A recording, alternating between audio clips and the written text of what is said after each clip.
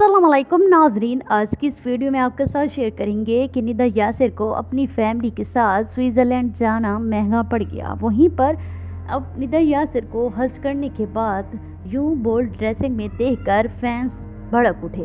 ناظرین، ندا یاسر کچھ عرصے کے لیے حج کے سفر پر روانہ ہوئی تھی۔ واپسی پر جیسے ہی پھر سے ان کے بولڈ ڈریسنگ شروع ہو گئی، جس پر لوگوں نے تنقید کا نشانہ بنایا۔ اور آخر کار ندا یاسر لائیو شو میں کیوں رو پڑی؟ تمام تر تفصیلات شیئر کریں گے اس ویڈیو میں۔ ویڈیو میں آگے بڑھنے سے پہلے چھوٹی سی ریکویسٹ ہے چینل پر نیو ہے تو سبسکرائب ضرور کریں۔ ناظرین، جیسے کہ آپ جانتے ہیں کہ ندا یاسر پہلے حج کے سفر پہ جب روانہ ہوئیں تو وہ حجاب پہنے، خوبصورت سا ابایا پہنے۔ حج کے سفر پر جو روانہ ہوئی تھی اور بالکل باپردہ ہو کر روانہ ہوئیں تو لوگوں نے کافی تعریف کی۔ وہیں پر یہ خوبصورت بھی نظر آئیں حجاب میں۔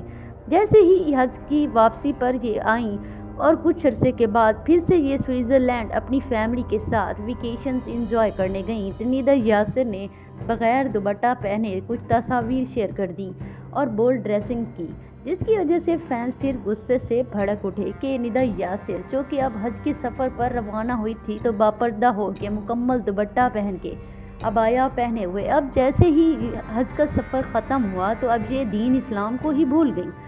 وہیں پر یہودی اور عیسائی اداکارہ سنیتا مارشل نے بھی ان کو کھری کھری سنا دی۔ کھری سنانے پر ندا یاسر ایموشنل ہو گئیں اور لائیو شو میں رو پڑی اور شوبیز کو ہمیشہ کے لیے چھوڑنے کا فیصلہ کر لیا۔ جو ندا یاسر کی آخری ایموشنل اولاد دینے والی ویڈیو تھی جس پر ندا یاسر یہ بات برداشت نہیں کر پائیں۔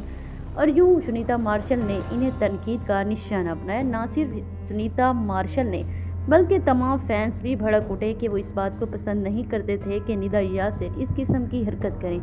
حالانکہ ایسا فیل ہو رہا تھا کہ ندا یاسر اب بالکل باپردہ رہیں گی حج کے اس موقع کے بعد۔ Nida Yasir live show host show morning show بھی چھوڑ دیں گی، لیکن ایسا کچھ بھی نہیں ہوا۔ ندا یاسر نے وہی ڈریسنگ وہی بولڈ قسم کی ڈریسنگ بغیر دوبٹہ پہنے اپنے شوہر کے ساتھ سوئٹزرلینڈ سے کچھ ایسی تصاویر بھی شیئر کی ہیں۔ جسے فینس نے بالکل ناپسند کیا اور انہیں مزید تنقید کا نشانہ بھی بنایا اور یوں ندا یا صرف لائیو شو کے دوران رو پڑی کہ آخر میں کیا کروں، کیسی زندگی گزاروں کہ تب لوگ خوش ہوں گے۔ ناظرین، آپ کو یہ جان کر کیسا لگا؟ کمنٹ ضرور کیجیے گا۔ اپنی رائے کا اظہار کرنا مت بھولیے گا۔ ملتے ہیں ایک نئی ویڈیو کے ساتھ۔ تب تک کے لیے اللہ حافظ۔